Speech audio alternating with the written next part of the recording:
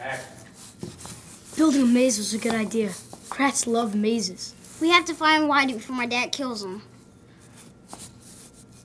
Uh, Hey, I got an idea. uh, Hold it right there. Give him that line again, Coy. We have to find Whitey. Slow that down, too. Okay, Be really concerned about it. okay. And slow down and action. We have to find Whitey before my dad kills him. I've got an idea. Why don't we build a tiny ship? Why?